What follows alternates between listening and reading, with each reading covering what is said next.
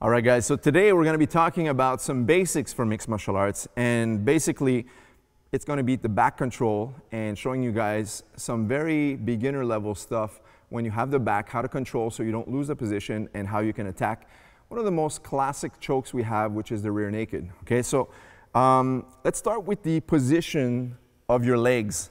So these are called hooks. I want to have my hooks behind my opponent like this, but there's two things that you don't always see on camera, so when you practice, you want to make sure you have. Number one is you want to have your knees pinching against his body. And number two is your heels are driving towards the ground like this. Okay, so it makes everything tight.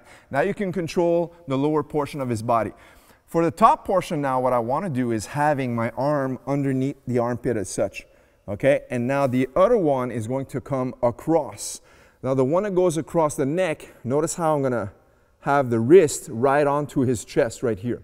So the wrist goes down and the other one latches right on top, just like this. So now we have a good seat belt control behind our opponent. The reason we want this is no matter where he's going to go, whether it's the right or the left, I'm always like a backpack behind my opponent. Now from here, we can easily go and attack the neck. So what we're gonna do is one, we go and grab the shoulder take this one out, stay tight, and notice how my hand is going to connect to my bicep as the other hand goes and finds its way behind the head as such. And now from here, you have what we call the rear naked choke.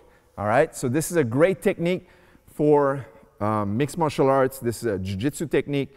Uh, mixed martial arts really are composed of boxing, wrestling, Muay Thai, and jiu-jitsu, right? So the jiu-jitsu aspect is a huge aspect of mixed martial arts fighting. So once again, remember the hooks, knees tight, heels tight, the seat belt or the pummeling of your hands around his body as such. The one that goes underneath the armpit stays here nice and snug and this one goes against the chest, latches on. You have this type of control now.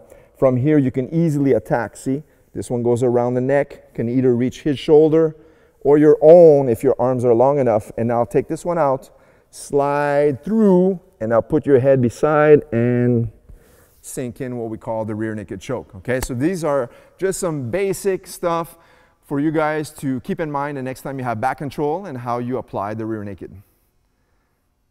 Now, there is one important point when you have your legs around like this, don't cross your feet as such. Okay, if I cross my feet as such, it's easy for him to bring one leg over and footlock me just as such and then break my ankles if he bridges. So I want to keep my, my legs one beside each other as such, okay? Even if they're a little bit higher like this, that's fine as well, okay? But never cross your feet.